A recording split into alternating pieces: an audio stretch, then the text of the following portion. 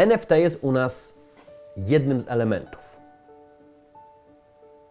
NFT jest u nas skierowane do naszych obecnych fanów, uczniów, klientów, studentów, ponieważ nasze główne idee są niezmienne. Wszyscy chcemy projektować swoje życie na nowo, chcemy mieć wpływ na swoje życie, chcemy być scenarzystą naszego życia i wtedy, kiedy mamy ochotę wejść we flow, aktorem, a nie tylko aktorem w miejscu, w którym ktoś stworzył scenariusz i powiedział mi, że mam grać rolę, która mi nie pasuje. Najważniejsze jest dla nas, żeby stać się głodnymi życia i wiedzy. Głodni życia to jedno z naszych haseł. Chcemy być głodni wiedzy, doświadczenia, dzielić się tą wiedzą, oczekiwać, że ją zrozumiemy. To po to ja piszę książki, po to nagrywam szkolenia i po to stworzyłem grupę na Discordzie jeszcze bardziej zaangażowanych fanów. Mamy miliony osób, które obejrzały moje nagrania. Miliony osób obejrzały moje nagrania w internecie. Setki tysięcy osób obejrzało nasze szkolenia. Setki tysięcy osób jest bardzo blisko tego, co ja tworzę.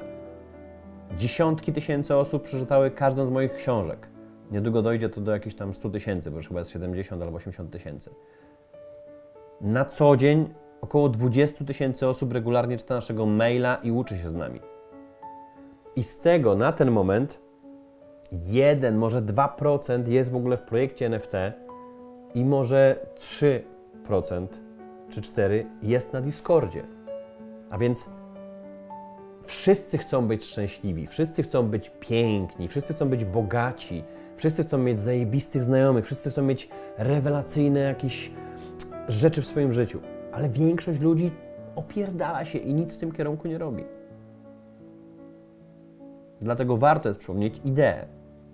Ichi jest tylko awatarem, który symbolizuje tą oślą upartość dążenia do celu, Twojego celu. Ta ośla upartość dążenia do celu spowoduje, że Ty porzucisz negatywne nawyki, że Ty przestaniesz robić rzeczy zbędne, że Ty zaczniesz udoskonalać siebie, że zaczniesz najpierw czyścić, szlifować, polerować swoje umiejętności po to, żeby one zaczęły błyszczeć, żebyś wydobył i wydobywa swój potencjał, maksymalny potencjał.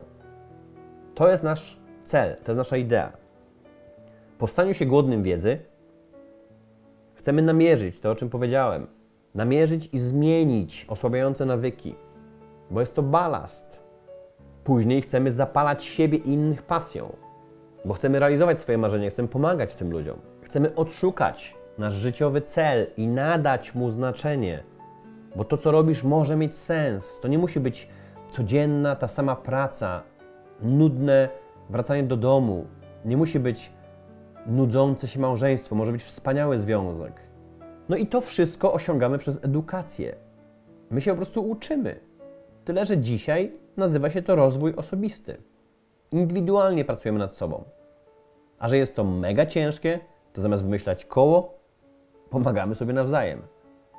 Ja w chwili, kiedy Cię uczę, uczę się sam. To dlatego powtarzam od 15 lat.